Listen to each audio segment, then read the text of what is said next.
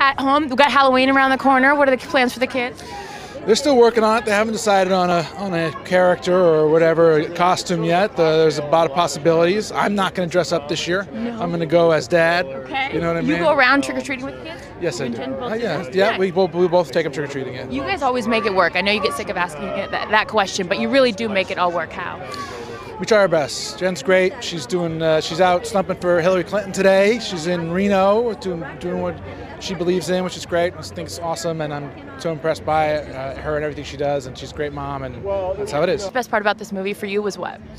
You know, it was definitely the, um, the the playing an autistic character, playing somebody on the spectrum, doing research, working with people who had autism, trying to explore what that was like, and, and learning about that uh, was was exciting and a lot of fun. And then doing the action, you know, that that's that's always exciting and fun. And train for it, and you rehearse for it, and you prepare it, and, and so you hope it works. You and Matt had a reunion as of late. We did, yeah. We did a, the reading of Good Will Hunting for uh, for uh, uh, uh, for the Times at NYU, and it was a lot of fun. I hadn't I hadn't read the script since before we shot the movie, so it was uh, some of the stuff I'd completely forgotten. Uh, in fact, they cut out some of my scenes that I think should have stayed in the movie. To be totally honest. What? Like what? And I looked at it. There was a scene where where um, Minnie, uh, the Skylar character, comes to Chuckie's house to ask about Will, and that was cut out for length. And when I, we read through it again, I thought it really worked. I want to update you. Your boys four three. I know. Oh, they scored a run.